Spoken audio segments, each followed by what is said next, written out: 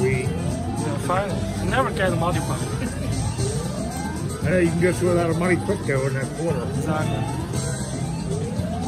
Nice.